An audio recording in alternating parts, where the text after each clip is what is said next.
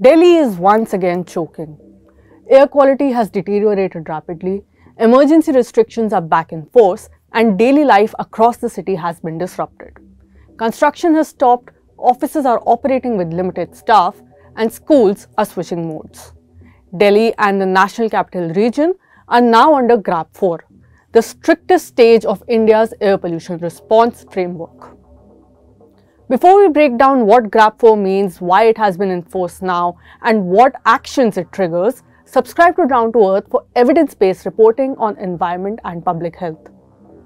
GRAP or the Graded Response Action Plan is a legally mandated framework which was approved by the Supreme Court in 2016. It links pollution control measures directly to the Air Quality Index or AQI. As pollution rises, restrictions automatically tighten. The plan is implemented by the Commission for Air Quality Management or CAQM across Delhi NCR. There are four stages under GRAP, each defined by AQI thresholds. GRAP 1 applies when AQI is between 201 and 300. GRAP 2 is triggered when AQI rises to between 301 and 400.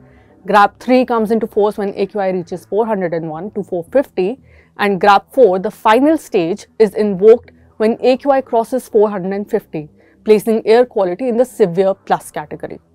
On December 13th, Delhi's average AQI crossed 430 by late afternoon and continued to rise through the evening according to CPCB data. With pollution trending upward and meteorological conditions turning unfavorable, the CAQM held an emergency meeting and invoked GRAP 4 across the entire NCR.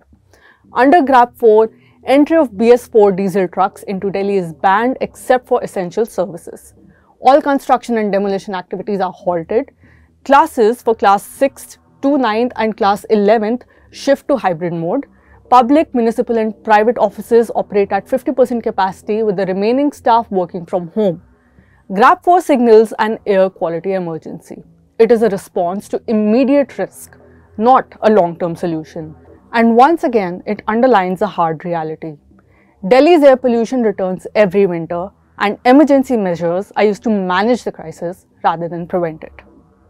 Thank you for watching. If you have any suggestions, do write to us by commenting on this video.